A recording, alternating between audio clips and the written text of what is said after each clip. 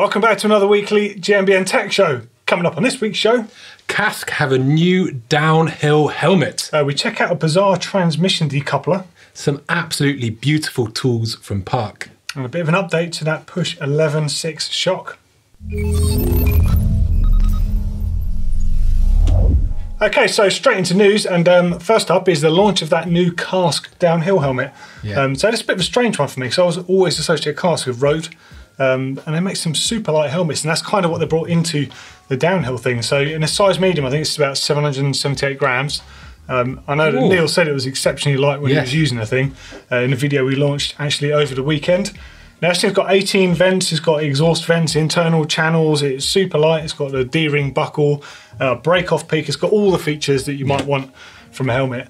Uh, and it's pretty quirky looking as well. It's available in, I think it's four different colours, uh, all based around sort of the carbon fibre weave with different sort of uh, accents to it. And it's got like this cool goggle groove. I don't know if you saw that. Yeah, I you- did. You can't put the goggle in the bad position. You can only put it in the good position. Yeah. That's it. If you get me. Italians being the fashion police, who'd have thought? oh, yeah, hundred percent. I was pretty surprised at that.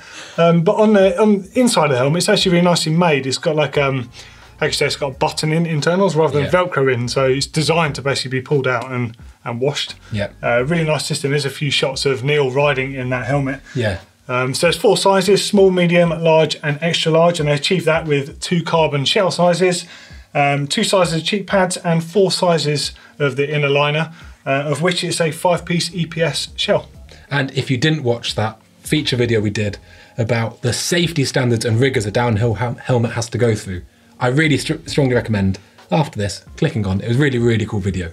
Uh, do you know what? It's actually kind of shocking when you see those machines smashing those things repeatedly. Mm. Uh, the noise it makes when they're doing it with the weight. You know, you're talking a, head weight that's about 15 pounds. Yeah. And I think it's just taking a hell of a hit repeatedly. You wouldn't want your head any- anywhere near that. So it's kind of nice to see that they put them through that much testing. They really do. Yeah, it is impressive stuff. Also in the news, we've seen Push Industries, which were kind of still, I think they're going from boutique to kind of a bigger player in terms of suspension output. Yeah, definitely out back. I think. Yeah, their new 11.6 shock. So sticking with coil, but it's got some new internals featuring a hydraulic resistance bottom out, I guess. Oh, nice. Yeah, Um, yeah. So basically, what it is is a kind of a an, an additional tube in in the damper, which basically increases hydraulic pressure as the piston goes into it. Ah, nice. So it almost ramps. Yes, exactly. Yeah. Yeah. So this is so they can, with a coil setup, which traditionally provides quite a linear suspension spring rate. Yeah.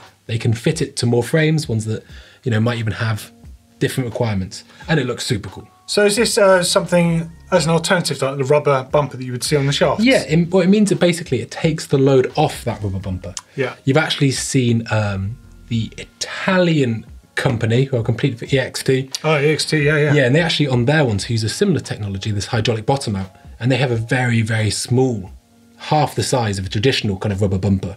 And this is because it's actually not needed because it's got that hydraulic bottom out, It's Just in case, kind of just in case. Yeah, That's quite cool, actually.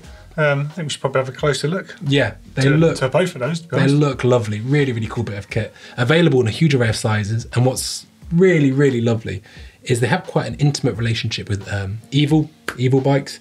And for that, they're making one that is, I think it's a 45 mil stroke option. It's absolutely tiny. Oh, so that's specially for the evil bike, Just isn't it? Evil, yeah, yeah. I think Cal mentioned that. Yeah, really, That's really trick, isn't it? Looks super cool. And has other similarities with the XT. Notably, it runs a really low pressure IFP to give it a very, Very supple. slick action, yeah. looks really, Well, really it's nice. slicker than a regular core shot. That's got to be pretty, pretty impressive stuff. Yeah. Um, actually, after I made that coil versus air video a while back when I was just riding the two back to back, someone commented that pushed a, a hop up kit for for certain forks on the market to upgrade it with coil. Yeah. So might be going down that route as well. And have a little look and see what we can do with that. And also, we saw actually at Bespoke almost a year ago now. They did that kit where, so the spring is compressed, and in the last part of the stroke, you can basically have an auxiliary, almost like an air piston, just at the top, yeah. just to add a bit of ramp up. So similar sort of things. I think it's people that acknowledge the great feeling that coil can give you, but Yeah. also its inherent shortcomings. limitations, yeah, for sure. And um, and that's the best way to tackle a problem, I think. So Interesting. more yeah. power to them. Could be a part three to that video. Um, we shall find out. Uh, next up in news, I think this pleases all of us universally here. Uh, Parker got some more tools on the market. I know you're pretty excited about those new Allen keys. Mama Um, likey. oh, tell, tell us about those Allen keys. I think um, you know Park makes some awesome tools, but in the last couple of years, people like Abbey Tools have really kind of taken the charge on those cool, classy looking T handle Yeah, stuff keys. that you really want to own, sort of. Yeah. I get it. Yeah. But now Park have come to the table, and boy, oh boy, are they packing. New talks on Allen keys, and I sound like a bit of a nerd for just getting so ramped up explaining it, but they do look fantastic. Also, and another thing I found myself getting all in a tiz over was their new bleed kits. Now I am totally. Oh, I'm with you on both accounts, but I'm especially with you on this. Yeah. I've been waiting for the day that Park have done this. Actually, Yeah. uh, yeah, it's kind of got. But it's a universal kit, really. They do one for dot and one for mineral, Mm-hmm. and it's even got a clip so you can actually ha- like, hold it onto your bike. I guess. Yep. Uh, you know, you need like a third hand or a mate to hold it. Basically, when you're bleeding your rear caliper, and even the caliper spacers, they've got these in different sizes. Yeah. Which that's super pleasing. And also, no corners cut. Everything's nice metal fixings. Everything looks done as usual, usual to the high quality you'd expect from Park. It There just looks really nice. there is a problem though. Go on. We don't have them yet. I've seen a box in Peter's workshop. Peter's our mechanic, but we don't have them here yet. We don't have them. No. Hmm. Just saying. All in good time. Hopefully, hopefully so. Yeah. Now, one of kind of my favourite little manufacturers is Trick Stuff. And a brake company. Yeah, based in Freiburg, Germany. They kick out some of the most you know, artisan brakes I think I think available. artisan's the right word for that company, yeah. They're beautiful, really cool guys as well. They're always happy to help. And something they're doing that is, I think, is a really good way to seize the initiative. Is sometimes they'll make these brakes and they'll see hours of CNC work. You know, Yeah. all this um, beautiful kind of colouring and stuff like that, and they might be technically perfect, but cosmetically not so.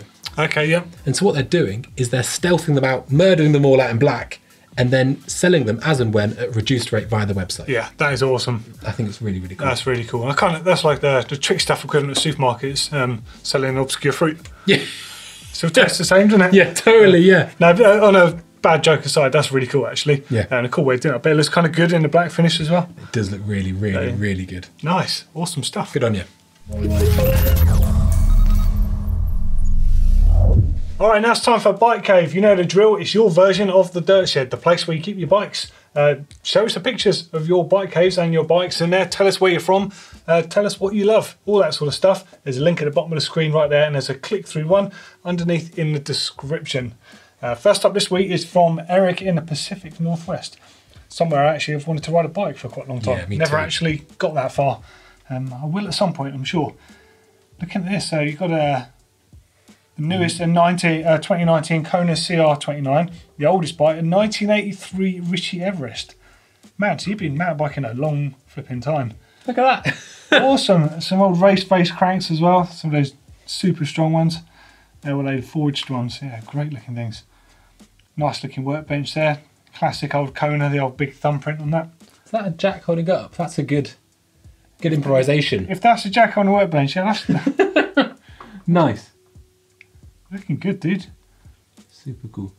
Same place. Oh my word. Yeah, you've got a Ramped pretty kitted out workshop, haven't you? Yeah. Oh, nice. You can definitely tell a mountain bike. You take out the rear car seats, you just stash them in your bike cave. so I guess you put your bikes in the back of the car. Look at that pair of shivers up there. And whatever they are, they're never set Marzocchi's, aren't they? Oh, here we go. The Oh, Marzocchi we collecting the bomber corner. Yeah. Look at that. So you've got a set of uh, well, uh, Z1 drop offs, set of Z2s, I think they are, or are they Z3s? I always forget the difference between those. The shiver, I used to have a set of those shivers. And everyone at the time used to laugh at me because everyone had boxes, and I had the shivers. I was like, "No, you don't stand upside down. They're like way cooler." And everyone's like, "No, look how bendy they are." They'd hold the wheel between the legs and be like this for the handlebars. You're like, See, I heard a cool fact about retro Marzocchi forks. You know the triple eight? Yeah. Eight, eight, eight. Eight inches of travel. Yep. Eight inch brake rotor. Eight pounds. And eight pounds. Yeah. Yeah, such a cool thing. "It is," but the fact they're eight pounds, it's just like. I know, that's why I had to double But check. back then, I went on the product launch for those, and it was like eight pounds. You're like, yeah, cool. and now you're like eight pounds. Whoa! but yeah, that is actually a really good stat. So I went on the uh, on the product launch for that actually way back, going off ski here. Um, I did my first run down A line at Whistler behind Brett Tippie with Wade Simmons behind me. No. I'd never ridden the trail at the time, and Brett Tippie was like, "Get the fuck out the way!" to all people, literally just like a steamroller. And Wade is literally up my ass, and I'm like, "Oh my god!" Actually, he wasn't up my ass. I shouldn't say it like that, should I? Someone might take that the wrong way. What goes on in these product launches? Let's just, let's just save that story for another time. we'll just carry on. With what was one. the tone doing all the way up here? He's actually got one of those cool Konas, those processors. I had one of them. Absolutely loved it. I had the 111, the mm. 29 and short travel. Real cool bikes, man. Yeah, it worked so well. I mean, I know that some of them had issues with bushings and stuff, but you kind of forgave them for how well they rode. Yeah. Although I've got to say, I mean, that one looks pretty good, and I think the mm. 153 looks nice, but the 111 I had looked like an IKEA carrier bag. The colours were just like, just disgusting. Yeah. But you rode it and you're like, I don't care. This thing's like, sh- just Down country, shreds. baby. It was 100%. Before it was even a thing. Hundred percent. I'm Sexy I'm exy. gutted they don't make it anymore. Yeah. So get on the case, Kona. Like Evil have just put out that one again. And it's time. Damn, yeah. But um, yeah, nice selection of stuff going on there. Uh, now it's over to Alistair in Berkshire.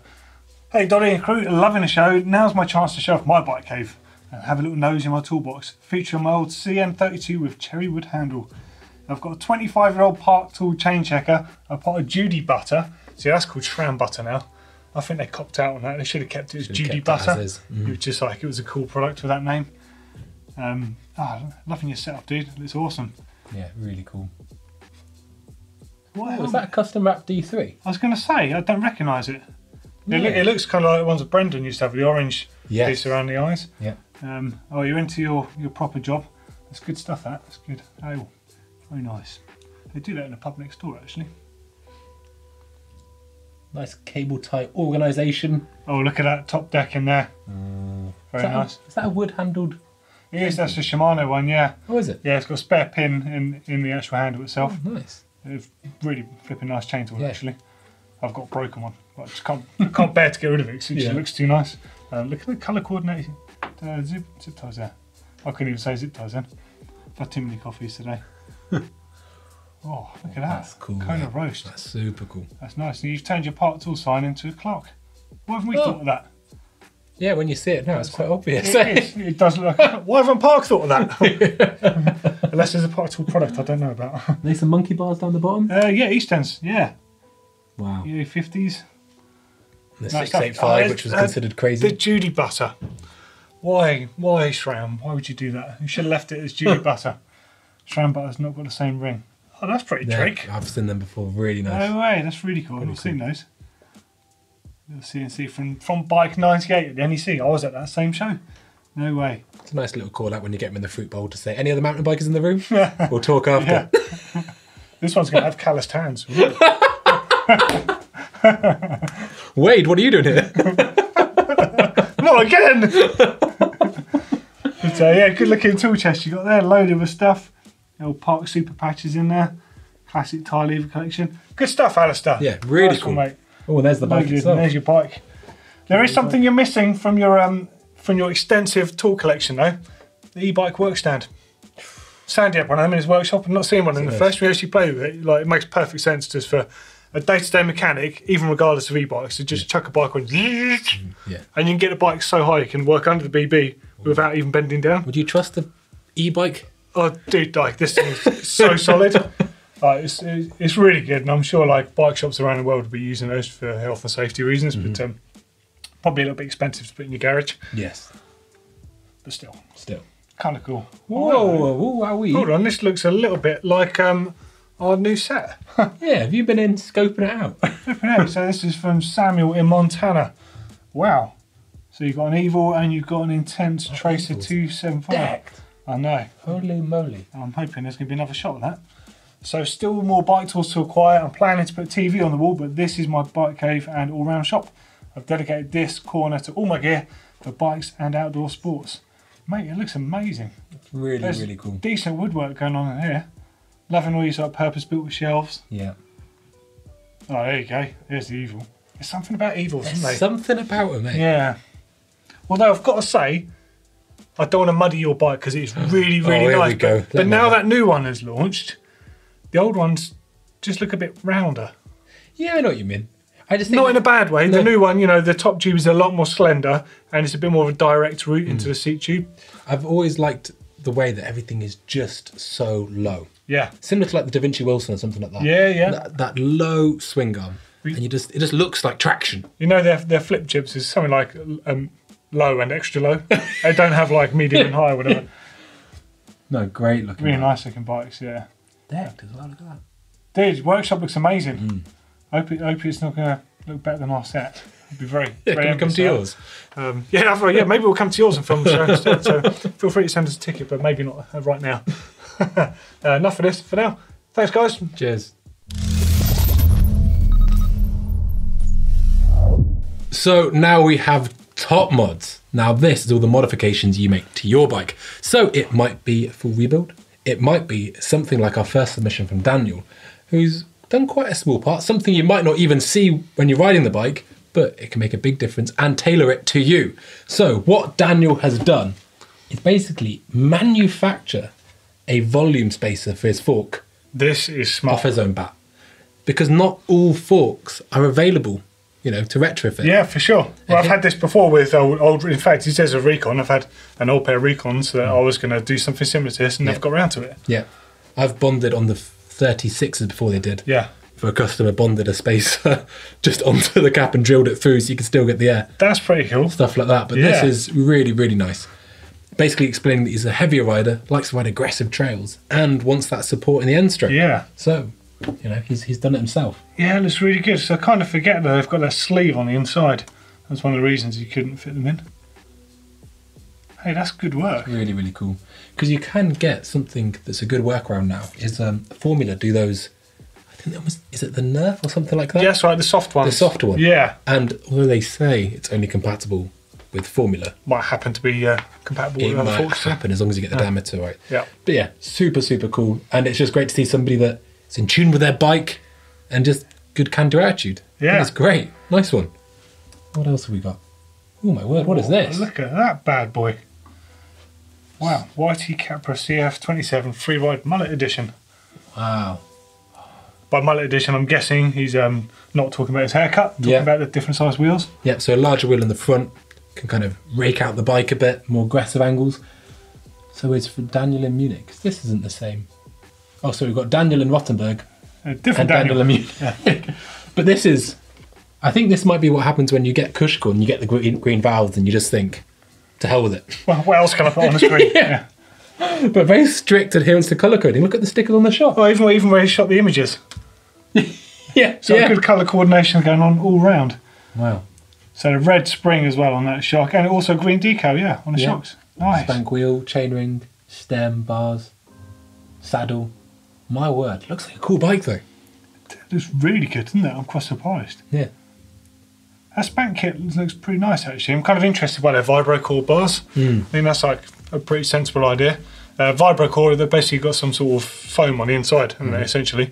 I think that's come from Moto World, if I'm not mistaken. Yeah, they, They've had that for a few years. They even do it in their rims now. And the really cool thing about doing it in their rims is you can't get a, lip, a nipple lost in the in the rim because it's all just full. Just drop it straight in. It sounds stupid, but it No, saves. So, if- it's If you've ever built a wheel and you've lost nipple now, you'll know how annoying it is trying to get it out again. Yeah. And it's rattling, you can see it by the hole in your. But yeah, this bike looks really cool. Beefy brakes on it as well. Looks like a really capable bike. He's got some of the old fig rolls on there as well. Oh yeah, looking good. Nice. In a, in a good placement too. Dude, that is, that's a nice trick looking bike. Spent a bit of time, a lot of money on that, Yeah. that's for sure. What else have we got? We've got another custom job. This one's a bit closer to home actually. Oh yeah. So this this one's from Johnny in Edinburgh. So I mean, great riding in Edinburgh. Got the Golfie just on your doorstep in Leithen. Yeah. You know, easy drive up to the Highlands. My word. And so this is his Nukeproof Mega 275 carbon frame and a complete build by the looks of it. So loaded with Burgtec stuff on there. Cloud carbon saddle Mark II Enduro stem, stem spacer kit, ride wide bars, bartender pro grips, penthouse flats, pedals, DH22 Michelin tyres, Yeah. AXS on there, so it's got a full AXS setup. Flipping it, did you have spent some serious cash on this? 180 mil fork as well. Oh, It's a big bike that now. Chris King hubs too. Oh, Yeah. dude. And it's all it's very tasteful this. It's very nicely done. Yeah, I mean, Peaty's valve cores on there, mm. everything, yeah, you're right, it's very tasteful the way everything matches in just nicely. Got a grey on those grips. Mm. That's a perfect match, isn't it? Yeah. That does look Oh, look at that. fantastic. Good shout out to your bike shop as well. Super, super cool. Wow. Sorry, we're just in quiet. Yeah, so we're just too busy looking at your bike, we don't need to talk. I like- at the pictures of this. You know, the colour matched exo cranks as well. Yeah, that's a nice detail. Could have had the red, but the grey actually looks way It- it looks classier. well classier. Yeah. Yeah. Oh, there we go. Oh, There's, the, there's the flat lay we wanted. Oh, Johnny, mate, this looks awesome. Yeah, really cool. Oh, Chris King. I don't think there's anything I'd spec different on that bike. I haven't tried a I haven't tried a Mega with the coil shock. Funnily, I was always super blown away by the Super Deluxe. Yeah. Super blown away by the Super Deluxe. oh my god, what am I like? I've always really enjoyed riding the Super Deluxe shock. Is what I meant to say. I never really felt the need for a coil, but I'd be interested to try one. Yeah.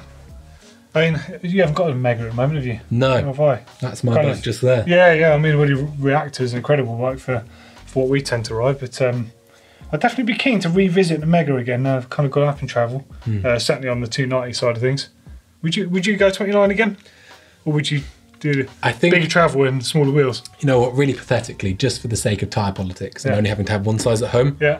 I would just 29. stick. I would just stick with the same, which I know is a bit of a cop out. But I No, it kind of makes sense. Can you can chop and change wheels between bikes Yeah. as well as you need to. Yeah, and it's like, yeah, I mean that in 29 is great. I really, really enjoy riding it. I have to say the 27 Mega, I, you know, loved it. I absolutely loved it. But I've got a feeling it was Nukeproof seemed to just always kick out no nonsense, just super fun bikes to ride. Yeah. I've got a feeling the 29 would be just great as well. I'd almost I'd worry though, from my point of view, that the uh, the new 29 290 is just too much. Hmm. Like it's a big old bike. There's a lot. I mean, not physically in the size. Hmm. It's a massive travel bike. Hmm. I don't think I could I could push it hard enough. I think it's uh, it's not a reason to not enjoy bikes like that. Don't get me wrong. It's funny, Abe. We, you know, I think when we talk about riding, you and I have about as polar opposite styles as it could get. we should go on our reactors and talk. We should ride each other's and stuff. You know what I mean? All right. That could be a feature or something like that because I think it's just so interesting. For me, I'm never scared of having too much travel Yeah. because I'm so. If you look at me on the bike, I'm actually quite a lazy rider. I just ah, you know, I you get, the I get that. pop and flow. Yeah, I, I think it's. I guess because when I started riding, basically you, you had no choice but to hop over stuff Yeah. because otherwise you wouldn't finish the ride. You split your tyres and that. We used to like 1.5 inch tyres. we Used to ride with. That's gravel tyres these days. Yeah, with tiny little rims, and if you started hitting roots like you do today, you'd buckle your wheels. Hmm. Honestly, it was like a preservation thing. I think that's kind of always ran through. So I just skip around. Yeah. But then, then I got really into riding BMX and BMX tracks and stuff, and I've always liked just like pushing into. Hmm. I mean, at least how it feels in my head. I know it doesn't look that way. When, when No, I honestly, but you can tell because you do generate speed in a way that I just eyes up, heels down. yeah, Let's do it. Let's do it. That's a yeah bit of let's, fun. we'll, we'll Yeah, work an angle on that. Yeah, nice. Okay, now it's time to take a trip down memory lane and check out some rewind stuff. That is all, all the old stuff basically. So if you've got any retro mountain bike gear, it could be an old helmet, it could be some photos of yourself or perhaps your dad or an uncle or anyone you might know in a bike race of age, uh, send them in to us. We love to see that stuff. Again, links at the bottom here and links in the description underneath. Uh, first up, this is a real treat actually to see, uh, especially with a backdrop as well. Uh, we start with a backdrop. There's a set of uh, Marzocchi Z1s. Uh, I can't tell if that's the originals or the BAMs. I think it might be the originals on the left hand side. And a set of RockShox Quadras. That was my first proper suspension fork. Ooh. I had RSTs before those. And then the RockShox I was actually completely disappointed with because they're the ones that had elastomers in. The elastomers were about this long. and you jumped off something and they bottomed out and you pulled up and it went tunk. Oh no, Dreadful things, but they looked, at a glance, they looked like the better mag forks, which had the air and oil dampers in them. And uh, me and my friends used to take off the little boots as well. Um, we were always told off for that because they didn't have very good seals. yeah. And they used to like gunk up all the time, but they, look, they looked cool. Do you think boots will ever make a comeback? Don't know. Everything seems to go in cycles. I wouldn't be surprised five years time. I can't. I think boots. They've definitely got a place. I mean, I think if you're doing uplift riding and that, boots is actually makes a lot of sense. Riding things like Megavalanche because the flying rocks. Hmm. Think all the damage you get to your stanchions, it stops that. But I hmm. think the problem with boots will always come when your fork gets wet and covered in mud, and everyone's like, "Oh, it keeps them hmm. protected." And it's like, well, it also holds it in there. yeah, yeah. so it kind of goes both ways. I think there's definitely, if I had a fleet of hire bikes, I'd probably be tempted to put boots on them because people with higher bikes who treat them like hire cars, they just throw them on the floor and stuff. So there could be something there. it. Yeah. Um, some old Maguras mounted on the wall there, and then of course, then then you've got the bike, uh, Rocky Mountain Hammer. So I think that's probably a chromoly frame. We've got the amp fork on the front there. Uh, a pair of Ritchey WCS pedals by looks of that as well. They're pretty rare. Um, I say that, but I better look through. Yeah, Ritchey Logic. hadn't even looked at your spec. So 1996 Shimano M950 XTR first generation V brakes, uh, Saucer carbon brake booster. So brake booster, that's even something that we don't even have anymore. Yeah. And so if you think that V brakes, but the huge leverage these things had on them, like so much leverage that you're literally bowing your frame with the power of the brakes. So you had a brake booster that would hold those brake bosses basically in place. So every bit of power that you're putting through the brakes should go to the rim instead of bending the frame outwards. Uh, it seems bonkers, really. They, they went they went to that extent, but uh, really nice to see. And also the old Maxxis tyre. So these would have been 60A, and you can tell because they've got the red rim around them. You never used to get on the stickier rubber tyres. Uh, really nice to see. And oh, what I didn't notice is got the old Rasta Chris King headset. Just Yeah. came in the three colours. And research for pretty cool. Yeah, I mean, I've got one of these to rebuild, um, Yes. and and everyone I've told that to has basically just laughed in my face because they're they're fa- famous for leaking apparently. Oh, okay. Yeah, so all of this stuff I I missed over the years of just like wanting a set of those forks Yeah. and a frame, and yeah, all my friends have basically laughed in my face. So we shall see how that goes. Good selection stuff. I like the little retro shrine there. It's nice. Yeah, cool. And a pair of uh, early avid speed dial brake levers as well. Very nice. Okay, next up is from Alexander. This is a 1996 GT LTS1 found on eBay. Um, found this on eBay and would like some info on what the bike is. Oh, right, okay. It seems to be made of carbon with alloy lugs. Yep. Um, says on frame uses single tube technology. Help me out with this one.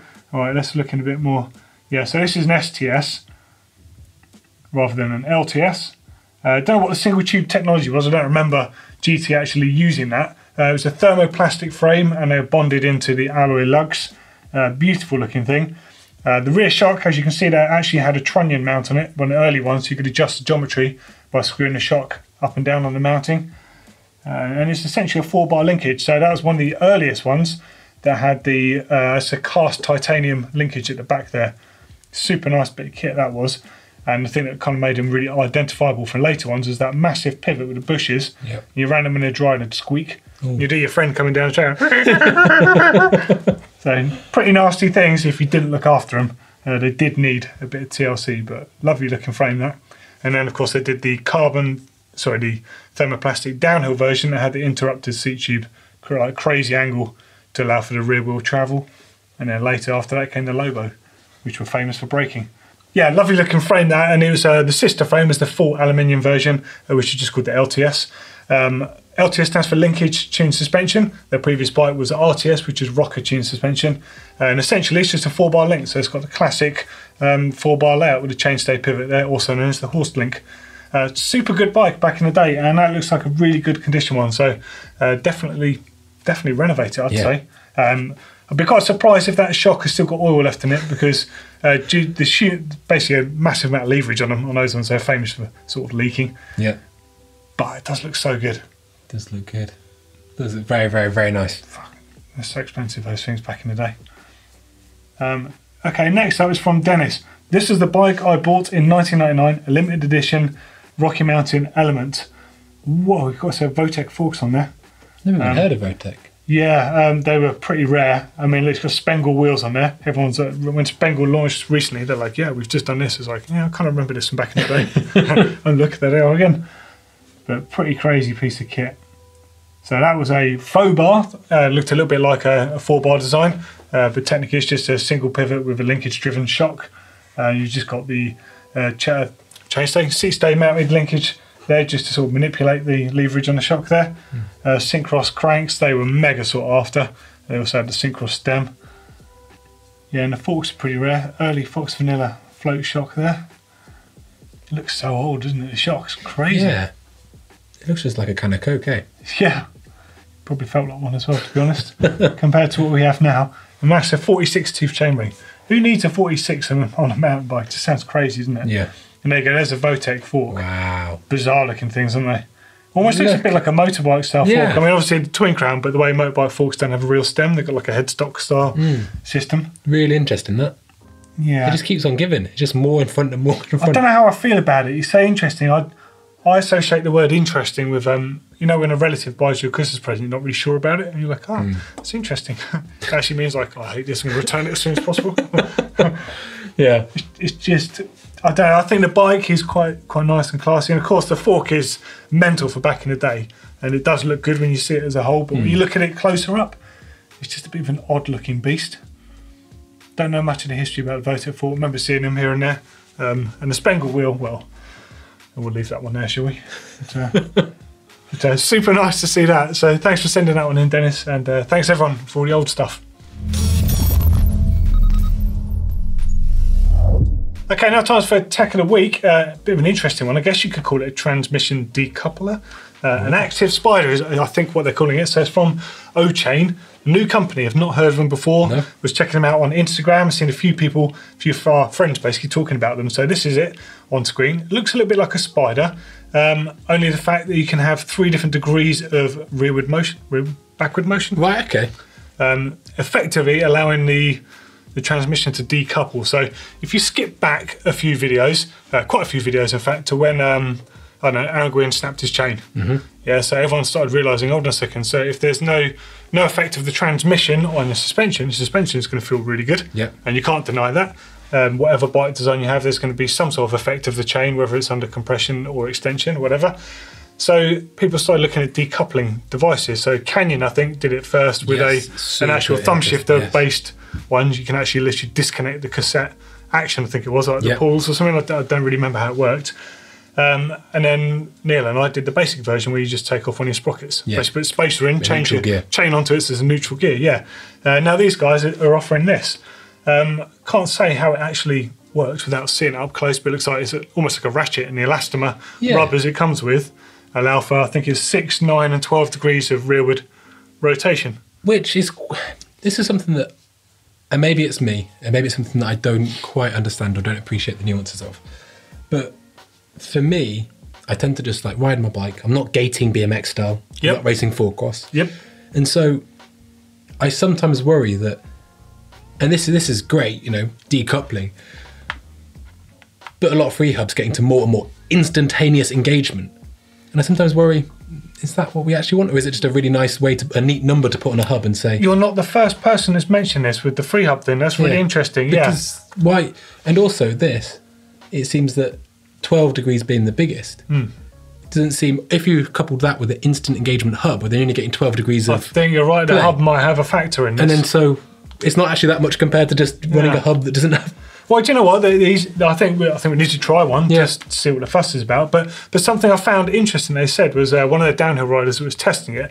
They actually had to go up fifty pounds in the spring rate Wow. on a shot because basically the effect on whatever bike that was Mm-hmm. unnamed. Actually, they said uh, obviously putting a bit of pressure on your front foot without realising it. Yep. Just under compression, and by basically removing that from the Mm. equation, you had to go up slightly in spring rate. I mean, or, perhaps maybe he could go up in spring rate, a firmer bike in the middle end stroke, but without sacrificing small bump. Potentially, yeah. I think yeah, I think it's super cool and good on them. There's not.